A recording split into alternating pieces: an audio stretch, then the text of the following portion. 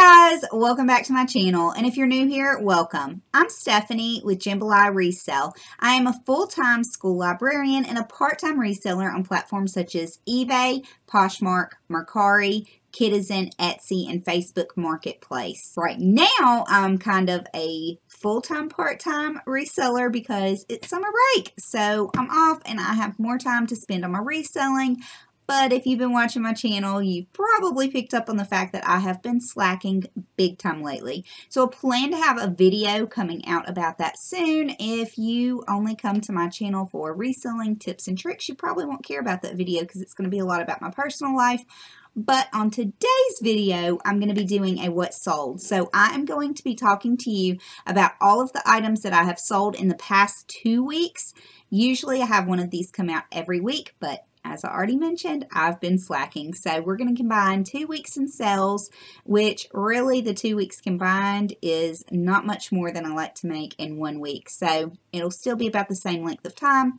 So I'm going to be showing you things that sold and talking to you about those things. So if you're into that, stick around. So my first item is this vintage belt with belt buckle. So I saw this at an estate sale and I mostly picked it up for this really unique belt buckle with the duck on it. Um, big belt buckles tend to sell pretty well, especially if they're unique, vintage, whatever. So I saw this and I saw it was branded on the back. Um, so I saw that it was Rain Tree brand. Um, and I saw a lot of people selling just the belt buckle, but I decided to sell the belt buckle and the belt together because the belt was this really nice leather belt and it was still in really good condition. I mean, it did have some scratches, but still a really nice belt.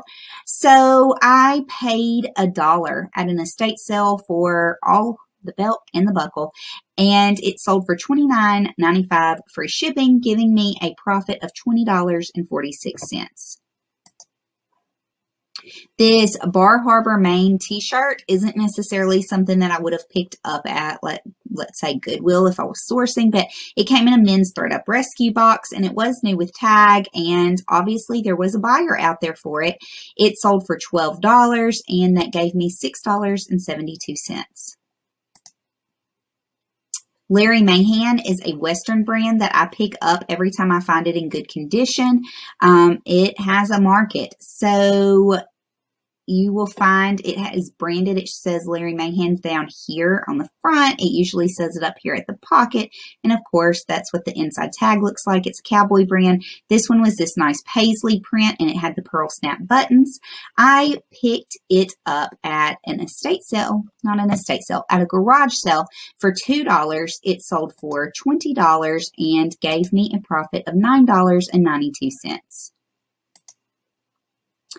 JIT Sleep Collection is not a brand I'd ever heard of, but when I'm at the bins, I usually pick up bras and sleepwear um, just because, I mean, you're paying per pound, you might as well, and that's not really something that people are fighting over, and there's definitely a market for it. So this gown, I had a dollar into it since it came from the bins. It sold for $18.95, and that gave me a profit of $11.50. All right, there's a return opened on this. Now, I don't take returns, but let me tell you just a real quick story. So, I bought these at an estate sale last August. So, we're coming up on a year. They're listed high. I know they are. This is a high end brand. I listed it based on comps. So, that's where I got the price from.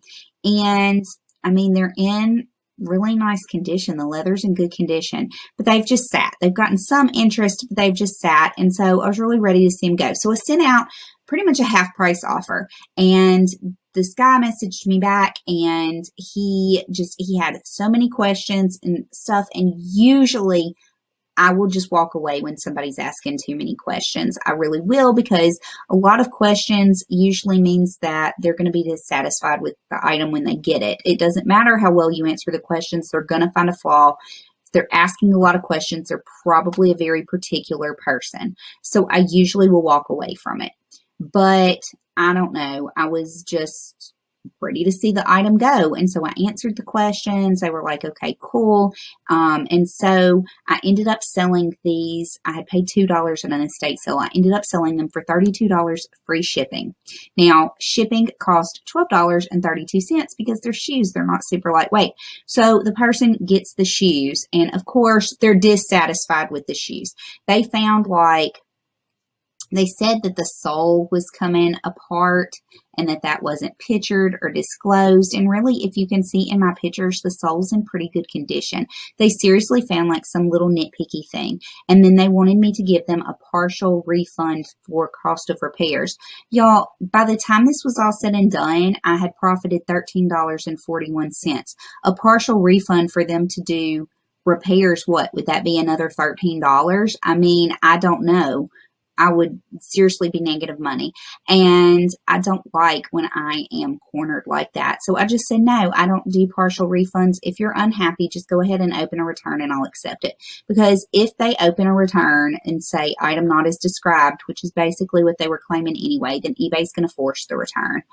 So I just went ahead and had them send it back to me. Now the person is pretty nice because he sent me a picture. He actually oiled the shoes and got some of these wrinkles out. So they actually look better than when I sent them to him.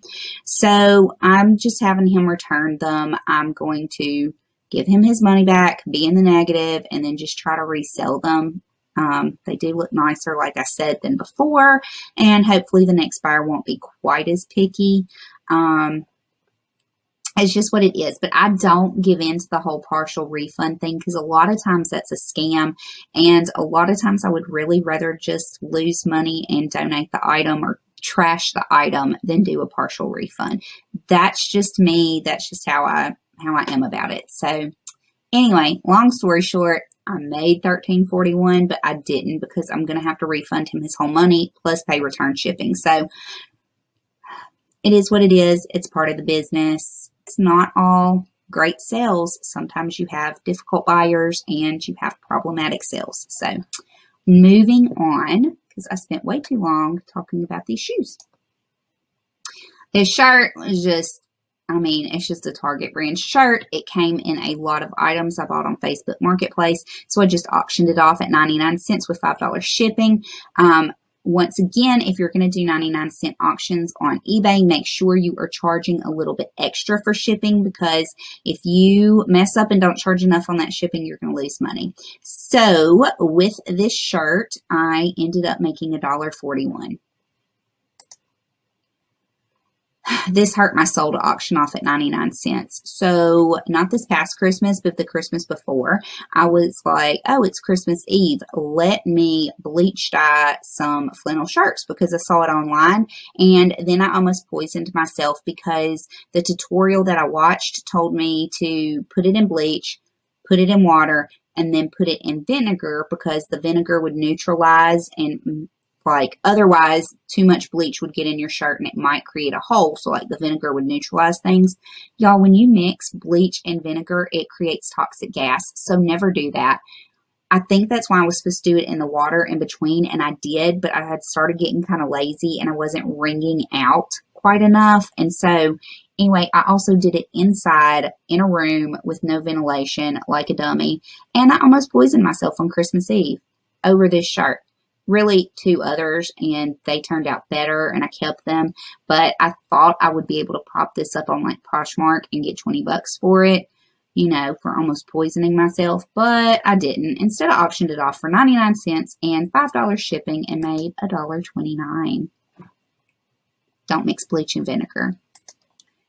All right, these shoes came in a Facebook Marketplace lot, the same one as that Target tee. Um, as you can see, they're just kind of beat up shoes. They weren't in great condition. They sold for 99 cents plus, oh, $5 shipping. I thought it was $6 shipping, so that changes my total. So I made 72 cents on these. All right, moving on. Susan Graver. So at an estate sale a week ago, the lady loved Susan Graver. First off, the house was absolutely huge, and the guy running the estate sale said that the people weren't dead. You know, a lot of times when you go to estate sales, it's because the people died. But he said the people just bought a bigger house and were getting all new things. And I guess that meant that they were getting all new clothes too, because seriously, this lady had like five walk in closets stuffed full of Susan Graver and some other brands that I really didn't know. So I just like loaded up on the Susan Graver. I ended up, it was half price day. So I ended up spending about $85 in total. I got a couple other things. Mostly I bought Susan Graver. Don't have a ton of experience with Susan Graver. It is a QVC brand and it does have a following. Um, a term to use with Susan Graver clothes is liquid knit and that is if your tag is a combination of polyester and spandex. It's like proprietary to certain QVC clothes or certain Susan Graver clothes, not sure. But um, look out for that if you're buying Susan Graver. If it's that polyester spandex um, combination, you can kind of feel it and tell. So anyway, bought a ton of Susan Graver and it has been selling super fast. I'm really happy because I like a fast turnaround when I am selling things. So this Susan Graver shirt um, came with this vest as well. So the combo sold for $25. I had approximately $3 into it and that gave me $13.23. This little guy right here, he is Russ Brand. His name was Godfrey, and he's just a really cute giraffe. Um, I picked him up at an estate sale for a dollar. He sold for $21.90 and gave me $13.31 profit. This J. Crew shirt, I believe, came this came in a thredUP rescue box. It sold for $12 and gave me a profit of 6 These New Balance shoes also came in a thredUP rescue box and my things are out of order. So one second. Okay, so these sold um, best offer of $37 and they gave me a profit of $23.56 and another Susan Graver shirt. This one sold for $17.95. I had $3 into it and I profited $8.05. I had one Etsy sale of the week and it was this Pooh. And he's big, big Winnie the Pooh. I got a message last night saying that they didn't receive their item and they want a resolution, but tracking shows it was delivered and I really have less experience on Etsy than I do most other platforms. So I don't know how Etsy handles that, but I don't know. The message was kind of sketch too because it had their phone number and wanted me to call them, and I'm not doing that never call the phone numbers they want you to call. So, assuming that I don't have to refund anything on this, which I shouldn't because, like I said, tracking shows delivered. This sold for $28.76. I had picked it up at a garage sale for a dollar and I profited $15.05. Facebook actually did pretty well for me this week. So this was my son's pirate ship, and I distinctly remember buying this for him at a garage sale and paying $2 for it. So he's had it for three or four years maybe. It sold for $20 plus $20 shipping. So Imaginext is a brand to be on the lookout for. Um, they have all different types of play sets and action figures, and all aren't super valuable, but some are. So that's something to look out for and look up comps on. So, like I said, this sold for $20 plus $20 shipping. I'm saying my cost of goods was zero because it was my son's, but like I said, I know I only paid $2 for it. I profited $17.86. If you take out my original $2, I still make $15.86 on something my son got to play with. So that's pretty cool. This suitcase, this is a vintage suitcase, and as soon as I saw the cute little icon, I knew I had to pick it up to resell. It's a vintage going to grandma's lug, um, luggage. It is by the Trojan brand, um, this sold for $20. Um, I had it listed at 25. I took a best offer of 20. It sold for $20 plus $20 shipping. I only paid a dollar at a garage sale for it. It was flawed. So if you see this and it's got flaws in it, do not be afraid. Like seriously, look at this. all over. Just make sure you disclose it. It was rusty, messed up there, rust. The inside is dirty and messed up. So uh, don't be afraid to pick the, this up if you see it. If it has flaws, just be sure you disclose them. So I profited $16.88 on this. Sold another belt. This one came from the bins. I paid a dollar for it. It was um, real leather. It sold for $15 and I made $13.20.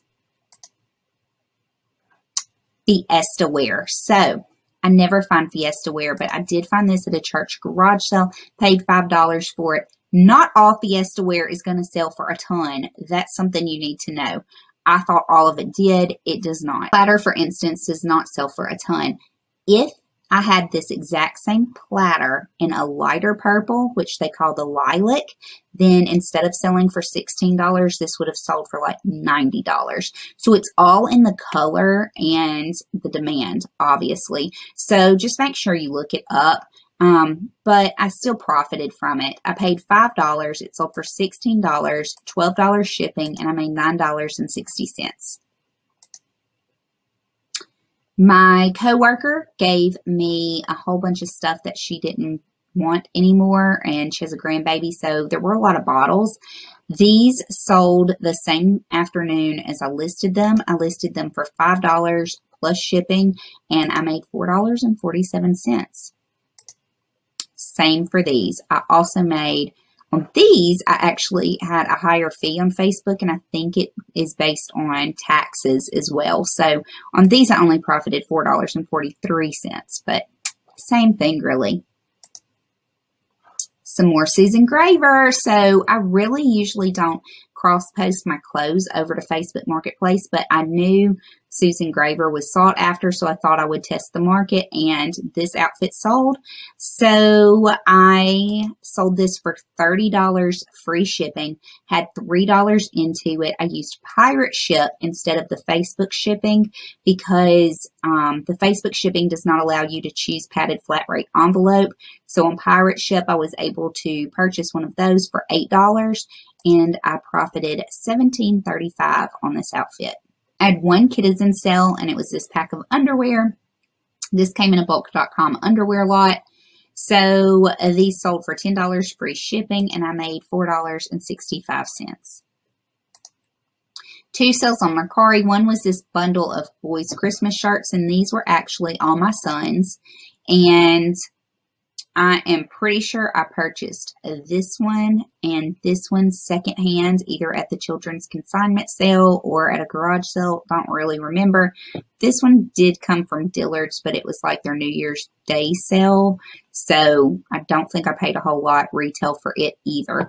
Anyway, he got use out of all of these and has outgrown them. So the lot sold for $9 plus shipping, and I made $7.54. This is a vintage SeaWorld seal. I picked it up at the Goodwill outlet. I had a dollar in it. It sold for $18 free shipping and gave me $9.58. All right, all the rest of my sales are Poshmark sales. So this ceramic cow head came from the same garage sale as the Go Into Grandma's suitcase I showed you earlier. And my husband was helping me unload my car. And I was like, and I got this cow head. He was like, for what? Somebody will want it. And they did. This sold same day or next day for full asking price of $30. I paid a dollar for it, and that gave me a profit of $23. This Auden bra came from our um, Amazon Target return store called Best Deals. I purchased it on $1 day. It sold for $10 and I made $7.05. This vintage Tommy Hilfiger backpack bag purse thing is from the 90s. I I went to say purchased and picked up at the same time and just completely stumbled over my words. I picked this up at a garage sale. I think I paid $2, but I don't 100% remember. I may have only paid one. It sold for $17 and I profited $11.60. These Antonio Melani shoes came from the Goodwill outlet. I had a dollar into them and I picked them up just based on style because I thought that that Mary Jane style was so adorable. They sold for $15 and gave me a profit of 11 This Forever 21 um, jacket, it is a hooded camo jacket. I believe it was new with tags. It came in a thredUP rescue box and it sold for $20, giving me $16. All right, I had a bundle sale of two Under Armour shirts. They came from the same garage sale and I paid $2 each for them. So $4 into this bundle. It was this Under Armour loose fit polo and this Under Armour loose fit polo. They were each listed at $20, but for the bundle, um, sold the whole bundle for $30, giving me a profit of $20.